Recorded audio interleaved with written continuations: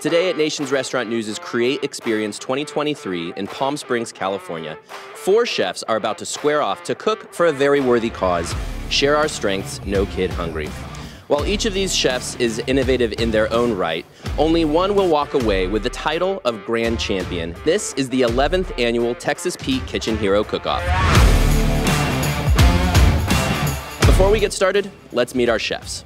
Hey, I'm uh, Chef Nate Weir. I'm the Vice President of Culinary for Modern Market. My name is Tiffany Sawyer, and I'm the Corporate Director of Culinary and Beverage for First Hospitality. I'm Brad Burgess, Corporate Chef, Director of Menu Innovation for Taco John's. My name's Dave Woolley, and I cook delicious food. In front of your stations is a mystery basket containing three ingredients a protein, a fruit, and a mystery Texas Pete product. You will have two hours to develop a new recipe, flawlessly execute it, and wow our judges. Are you ready, chefs? Let's go! Ooh, I got bananas, Texas Pete hot sauce original, and I got a beef fillet. I don't know what you're gonna do with that. You have any Oh, idea? I mean, like a thousand things. All right, we have some beautiful Alaskan cod, it looks like. We have some cha sriracha and some beautiful Valencia oranges.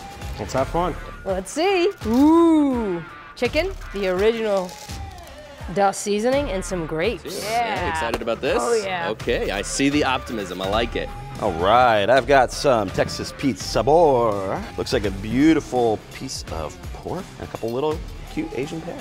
All right, your mind is already whirring. You're thinking about what you're Yeah, gonna do. Asian pears and Mexican hot sauce. Let's see what happens. All right, chefs, you've seen what's in your baskets. Now let's sauce like you mean it.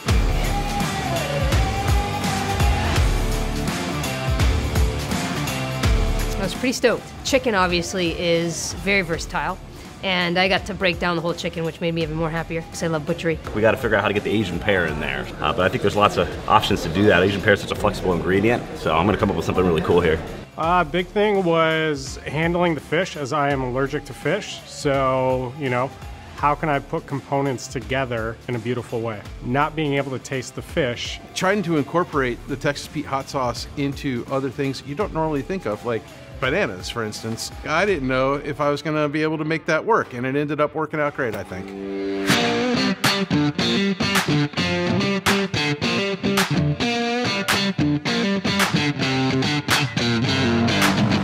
This is Garner Foods' 11th year of the Texas Pete Kitchen Hero Cook-Off. Through our partnership with Share Our Strength, No Kid Hungry, we have been able to donate over 1 million meals to hungry kids across the country. Sarah, tell me your favorite part about your job. I think the answer is twofold that it's incredibly inspiring to see what can happen when kids have access to healthy meals. There's so much potential. And I also love working with brands like Texas Pete to do creative, amazing, fun things to raise uh, funds and awareness for this important cause. I love Texas Pete, and I love No Kid Hungry, so it was like a no-brainer for me to come here and do this.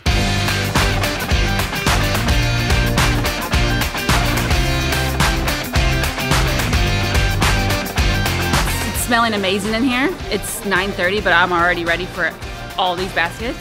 As the time goes on, uh, maybe there'll be a clear winner, but I don't think so. I think it's going to be a tough competition. We are cooking up a storm, and it's a spicy storm too, by the way. Dave, did you use all Tiffany's flour? Oh, that's a good competitor move right there. I'll be forever known as the flour scaler. Uh, I just ate a bite, uh, pretty tasty, so I uh, got my fingers crossed. Uh, had a lot of fun, no matter what. What Chef Nate did with the Asian pear and our Texas Pete sabor sauce, the Asian pear sweetness really popped in it with the spiciness of the sauce. And then I used the Texas Pete dust in my coffee uh, and brown sugar dry rub for the pork as well. So got multiple Texas Pete products in there. The chicken had nice flavor. There's a lot of sweetness, but then again, a, a little bit of heat. The Texas Pete dry dust tuile was on top, and that was super fun, and it added a great crunch. And then, of course, I forgot to put on the plate. But hey, it happens to the best of us. The cod, very well done, very flaky. Love the crunch of the panko breading that he did.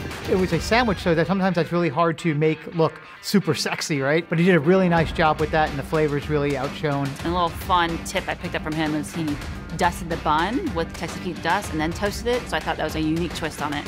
I really loved what Dave did with the beef tenderloin. I think he was very creative with his use of the bananas as the mystery basket ingredient. There's a famous Indian condiment called ketchup manis, and it is actually a banana puree ketchup.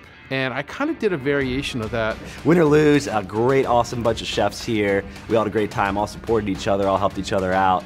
Uh, so it was a super fun way to spend a Sunday morning. I think it's time to go have fun at Margaritaville. Thanks so much to our chefs, our judges, No Kid Hungry, and last but not least, Texas Pete, for sponsoring this incredible event. What's that? You want to know who won? Well, we're about to find out who the grand champion is right now. Now for the big moment. The winner of the 2023 Texas Pete Kitchen Hero Cook-Off is Nate Weir, Modern Restaurant Concept.